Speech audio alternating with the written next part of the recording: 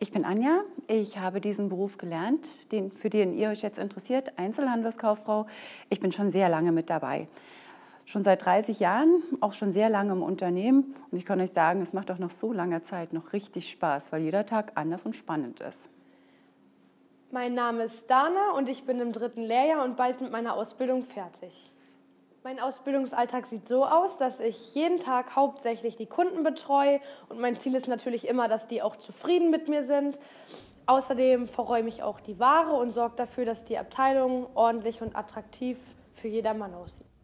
Um die Ausbildung zur Einzelhandelskauffrau oder zum Einzelhandelskaufmann zu absolvieren, muss man drei Jahre in einem Betrieb arbeiten und man verdient 670 Euro brutto im ersten Lehrjahr. Wir werden hier nach Tarif bezahlt.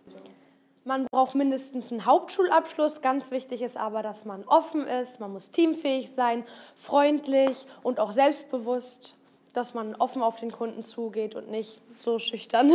Anders. Jeder Tag ist spannend. Man trifft jeden Tag neue Leute, es gibt neue Aufgaben. Man muss kommunikativ sein, auf die Menschen zugehen. Es ist einfach interessant, weil ihr jeden Tag jemand anderen kennenlernt und jeden Tag etwas anderes erlebt.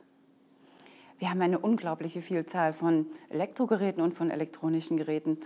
Die begleiten euch von morgens bis abends. Wenn ihr mal schaut, alles, was eine Steckdose hat, das verkaufen wir auch.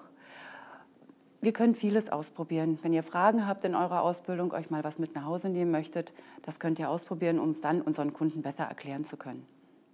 Besonders spannend finde ich es auch, wenn plötzlich mein Schauspieler aus der Lieblingssendung vor mir steht oder ich einen Hollywoodstar bediene.